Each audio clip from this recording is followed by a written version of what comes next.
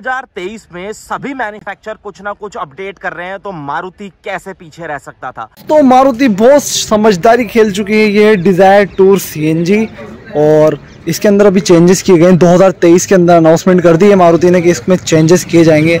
अभी जो दो अभी जो टूर सीएनजी आपको देखने को मिल रही है। पूरे यूट्यूब के ऊपर ये सिर्फ़ चौथा वीडियो है Dzire tour CNG 2023 new model के ऊपर। यहाँ जो लाइट आपको दी गई है, ये बड़ी सारी बिग लाइट है एलईडी हेड लाइट के साथ साथ आपको नीचे फोगलेम का जो ऑप्शन दिया गया है, वो इसके अंदर आगे से कंपनी की साइड से लगे हुए नहीं आएँगे, आपको एडिशनली परचेज करना पड़ेंगे with the part of accessories and इसकी साइड के अंदर देखो यार, आप एक जो सिल्वर कलर की एक फिनिश दी गई ना गार्निश फिनिश वो सिल्वर दी गई है। अभी अगर आप डिज़ायर वीएक्सआई में देखोगे तो उसके अंदर ये आपको स्टील की मिलेगी मतलब बहुत अच्छी लुक के अंदर मिलेगी। स्टील व्हील नॉर्मल दिए गए हैं चौदह इंची के साइज़ के साथ साथ, जिसके टायर साइज़ हैं, जो मैंने बता दिए हैं। और जिसका इंडिकेटर है ना इंडिकेटर यहीं पे दिया गया है, इसके साइड मतलब डोर इस पे नहीं है ओ के अंदर कोई इंडिकेटर ब्लैक ओ देखने को मिलेंगे। सीएनजी की हम बात कर रहे हैं 2023 मॉडल के अंदर।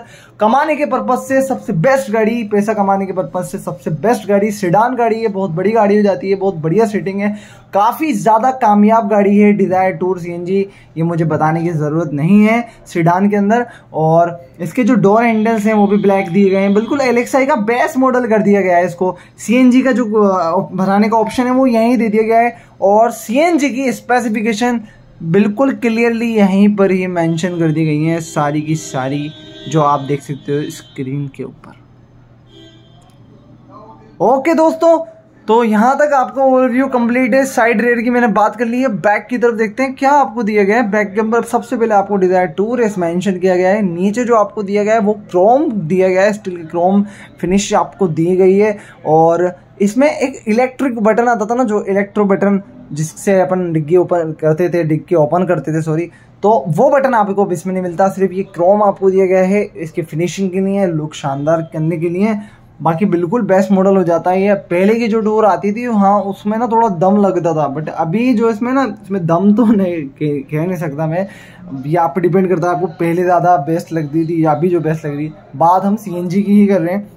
तो मैं इस वीडियो में सारा कुछ क्लियर करूँगा। लास्ट में कि प्राइस कितनी है इंजन पावर कितना है कैप फ्यूल कैपेसिटी कितनी है, और आपको ये इसका माइलेज कितना देखने को मिलने वाला है। तो अब इसके साइड की और थोड़ी सी बात करके फिर हम इसका इंटीरियर देखेंगे। इसके अंदर देखो, बहुत अच्छा व्हील स्पेस मिल जाता है आपको। और जो है तो गाड़ी मतलब ये देखोगे ना आप, अगर आप इसके ओ आर वाइट कर दिए जाएँ और ये साइड हैंडल वाइट कर दिए जाएँ तो ये डिज़ायर वी आई लगेगी ऑलमोस्ट टू रेस पेट्रोल को बंद करके अब इसको इस उसमें दिया गया है और अंदर इसके जैसे साइड के ऊपर ना मतलब कोई टेक्नोलॉजी बेस्ड फीचर्स नहीं दिए गए हैं ज़्यादा कि पहले आप जो है तो वो आर को अंदर से एडजस्ट कर लेते थे। और हाँ इसका जो पूरा अंदर का कलर है वो आ, कौन सा बिज कलर में दिया गया है जिससे काफ़ी अच्छा इसका लुक हो रहा है। मीटर भी बिल्कुल नॉर्मल सा दिया गया है कोई टैकोमीटर वगैरह वगैरह डिजिटल मीटर नहीं दिए गए हैं। और ये आप देख सकते हो ओवरऑल लुक जो कि आपको डैशबोर्ड का देखने को मिलेगा मेरे भाई।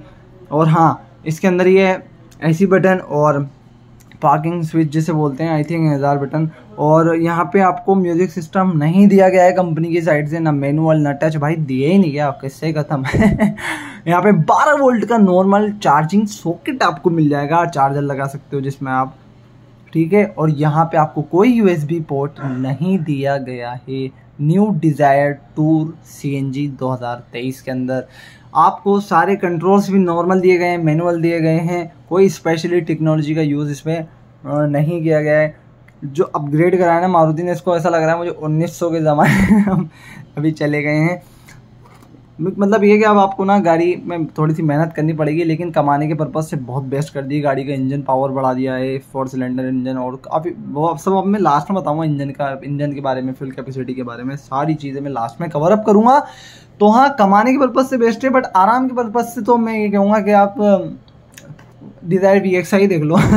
अगर आप फैमिली की नहीं देख रहे हो, देखो, कितना नॉर्मल मीटर है, कितना। अरे मीटर छोड़ो आप स्टेयरिंग देखो यार स्टेयरिंग के ऊपर ना आ, कोई भी आपको स्टेयरिंग के ऊपर कोई भी माउंटेन ऑडियो कंट्रोल्स वगैरह नहीं दिखे। ये देखो ये भी नॉर्मल सब कुछ everything is normal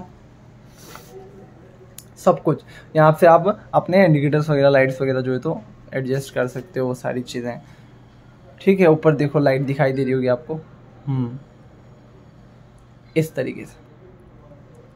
side indicator वगैरह आप टर्न दे सकते हैं। वो सारी चीज़ें बिल्कुल नॉर्मल बिल्कुल नॉर्मल ये आपके ए सी फ़ैन है उसको एडजस्ट वगैरह कर सकते हो आप, ठीक है? ये स्विच के द्वारा। और नीचे जो बटन हैं, वो आपको पेट्रोल टू सीएनजी का बटन भी दिया गया है। पहले ये देखो आप, ये सबसे इंटरेस्टिंग चीज़ है। कोई पावर विंडो नहीं है भाई। वही हेड पम्प चलाओ, पानी निकालो। मतलब मेहनत करो यार। टेक्नोलॉजी ने अपन को जो है तो बहुत ज़्यादा लेजी कर दिया है। तो तो भाई लोग, ये है सब कुछ देख लो आप सब, आपके सामने। एडजस्ट करो, ठीक है? अब हाँ स्टेयरिंग की अगर मैं बात करूँ तो सॉरी स्टेयरिंग से पहले मैं आपको ये स्विच दिखा देता हूँ। पेट्रोल टू सीएनजी का स्विच यहाँ पे है और लाइट्स वगैरह के स्विच वहाँ पे है। अब स्टेयरिंग के ऊपर सेफ्टी पे तो मारुति बहुत ज़्यादा आप ध्यान दे ही रही है। स्टेयरिंग के ऊपर आपको क्या देखने को मिलता है? एयरबैग देखने को मिल जाता है। ऑल्सो को ड्राइवर के लिए भी। मैनुअल फाइव गेयर ट्रांसमिशन देखने को मिल जाता है आपको। नॉर्मल हैंड ब्रेक और ये जो आप सबसे इंपॉर्टेंट चीज़, मारुति ने क्लियर मेंशन कर दिया है नोटिस दे दिया है कि भाई मैक्सिमम स्पीड आपको तो 80 ही रखनी है 80 से ज़्यादा लेके तो इलीगल हो जाएगा। एक ही लाइट दी गई पूरी गाड़ी के अंदर, भाई, उजाला, एक एक ही गाड़ी, एक ही लाइट दी गई है, बाकी आगे कोई ड्राइवर की लाइट नहीं है।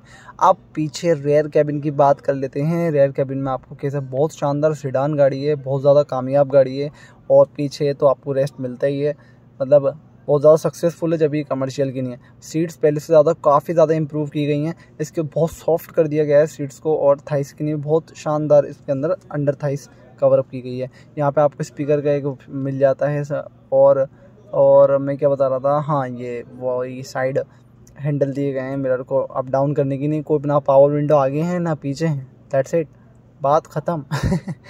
ठीक है। और एक स्मार्ट लॉक सिस्टम तो दिया गया है। चलो, और यहाँ पे आपको सीट बेल्ट वगैरह के लिए सारे ऑप्शन दिए गए हैं।